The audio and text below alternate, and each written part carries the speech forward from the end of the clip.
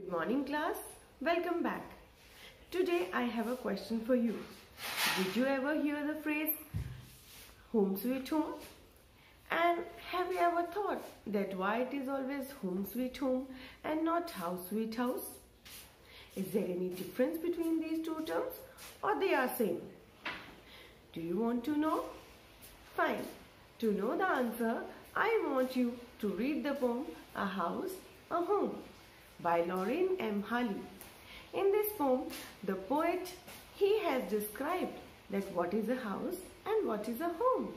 So let's start. First, I read out the poem for you and followed by the explanation. And then I tell you that what is poetic devices and how they are used in this poem. So let's start. A House, a Home by Lorraine M. Halli. What is a house? It's brick and stone and wood that's hard, some window glass, and perhaps a yard. It's eaves and chimneys and tile floors, and stucco and roof and lots of doors. What is a home?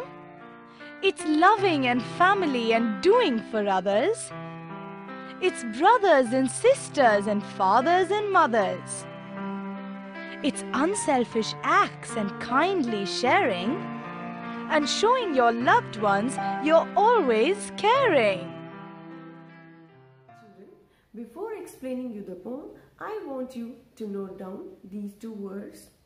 Eaves, that means overhang at the lower edge of a roof. And stucco, stucco means a plaster used to cover the exterior walls. Now, what the poet is explaining in the first stanza, he is telling us that what is a house? A house is made up of walls, windows, doors, stones, bricks, stucco, means all the non-living things. And what is in the second stanza the poet is telling us? He tells us about, he explains us about what is a home. A home is made up of family, relations, love.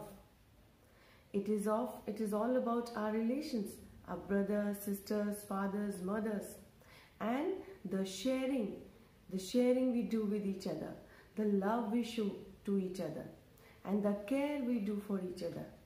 The home, the term home, it deals with relationships, love, caring, sharing. So this is the difference between a house, a home. A house, it is made up of non-living things. It does not deal with any of relations or feelings. But home deals with feelings and emotions. That is all about the explanation of the poem. Now I will tell you that what are poetic devices. Poetic devices are used to enhance the beauty of the poem. In this, in this poem, we see that the poetic device repetition is used. What is repetition? Repetition is if a word is again and again repeated in the poem, that means it is repetition. You can see in this poem that again and again the word and is used. So there is a repetition of and. And the rhyming words are used here that is yard and hard, floors, doors, then others, mothers, and sharing, caring.